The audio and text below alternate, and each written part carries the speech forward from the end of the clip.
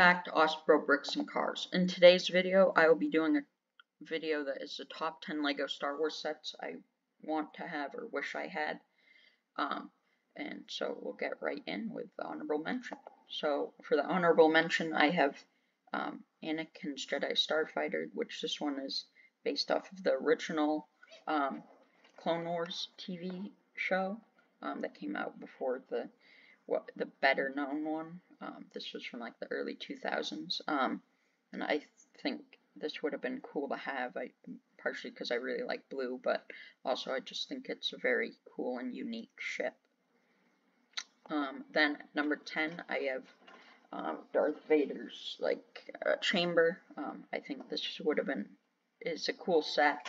It's just not. It hasn't been at the top of my list, but I think it would be a cool set to have.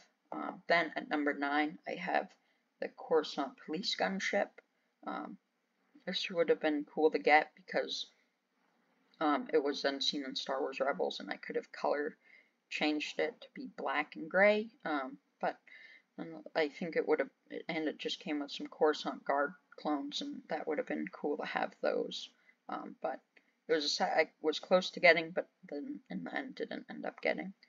At number 8, I have Obi-Wan's uh, Jedi Interceptor. This is just a cool one. It would have been cool to have because I have Anakin's, but then I could have kind of put them together kind of on like a custom-made stand or bias stand that could just have the two of them beside each other because they're both in Revenge of the Sith. Um, then at number 7, I have the um, the the um, Z90 um, Headhunter. I really like this ship. Um, it's the predecessor to the X-Wing, so it would have been cool to have. It also came with a Phase 2 pilot, 501st Phase 2 pilot, um, and uh, that would have been a cool figure to have. Then at number 6, I have the more the most recent um, Playscale UCS, well, it, not place. It's more the like uh, Master Builder series um, sets. Um, I wish I would have got it. It just I have one that came out before it, but um, this one just came with a lot better selection of figures. I feel like. Then at number five we have the um, Republic AV7 cannon. Um, this would have been cool to have um, just like the police gunship, I was close to getting it, but I decided in the end didn't. Um, but because it came with the Wolfpack Troopers and Droideka, which um, I think the Wolfpack Troopers were would be cool to have. Then at number four, I have the Master Builder series, um, Mos Eisley Cantina. I really like this set.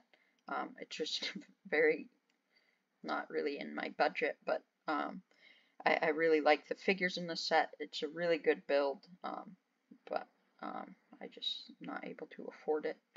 Then at number three, I have Captain Rex's ATTE Walker. Um, this is just a really cool set um, that um, I just wish I had because I really like the ATTEs.